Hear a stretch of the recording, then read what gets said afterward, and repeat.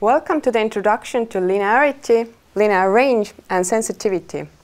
In quantitative analysis, calibration samples and calibration graph is mostly needed. Therefore, during validation, we have to make sure that the chosen calibration model is suitable. In this chapter, we will look at three validation parameters which are closely related to calibration graph.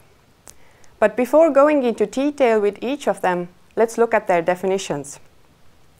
Firstly, linearity is defined as the method's ability to obtain signals which are directly proportional to the concentration of analyte in the sample.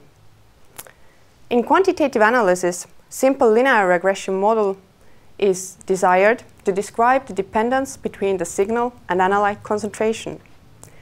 In LCMS analysis, due to the possible matrix effects in the ionization source, it is necessary to check the linearity in samples which, which also contain matrix components. The preparation of suitable samples will be discussed more thoroughly in the following lectures.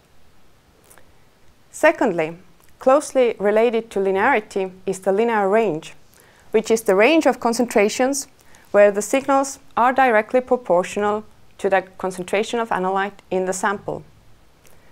Linear range can be estimated from the experiments of linearity evaluation. And thirdly, sensitivity is the change in instrument response or signal which corresponds to a change in the measured quantity, the concentration of analyte in the sample. In other words, sensitivity is the gradient of the calibration graph.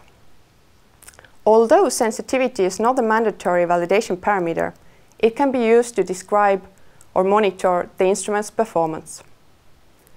Now we have covered the definitions of these parameters and we can take a closer look at each of them separately.